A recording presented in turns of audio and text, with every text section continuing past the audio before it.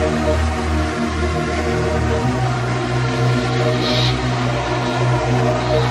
you.